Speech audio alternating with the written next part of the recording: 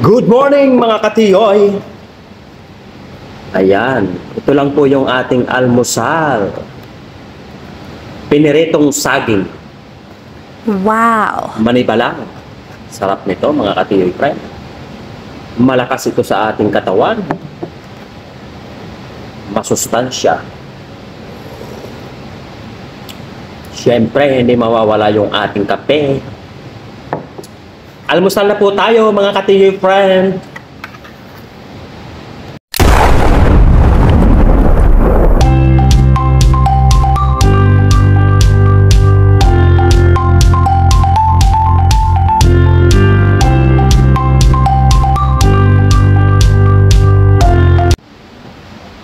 Yan o. Hmm. Limang hiwa. Alam niyo naman yung saba dito sa Dubai, medyo may kamahalan.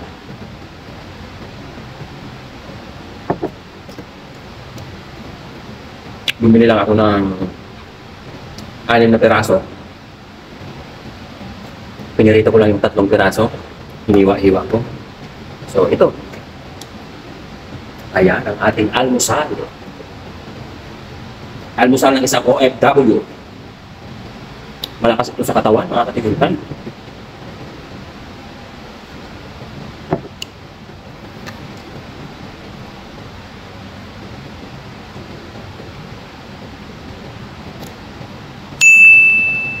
Sarap.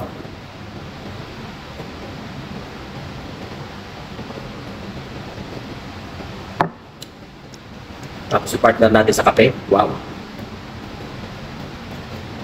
Sa aming probinsya, sinasaing namin ito. Tapos merong partner na niyog. Mm, sarap. Sarap yung bagoong. Mm, yummy, yummy. Pwede kaya pag bagong haing, lalagyan natin ng margarine sa ibabaw. Ito kaya butter. So, na.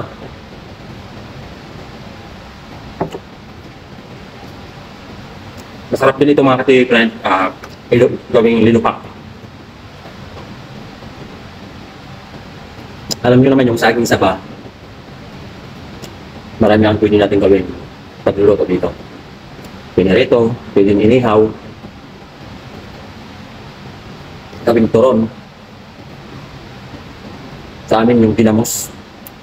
Dinamos pang tawag nun.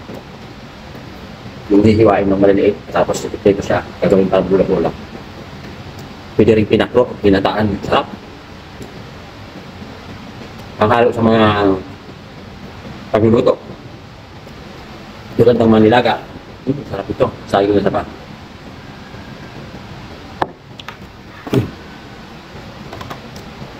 Yan, inubos ko ng mga kaibigan. Para bonggang-bongga yung ating pagtatrabaho ngayon.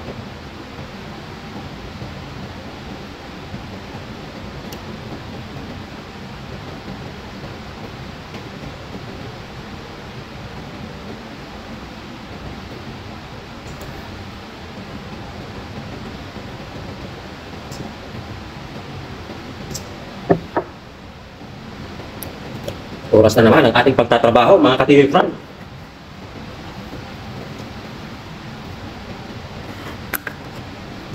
Puspos ang work, work, work na naman ang ating gagawin.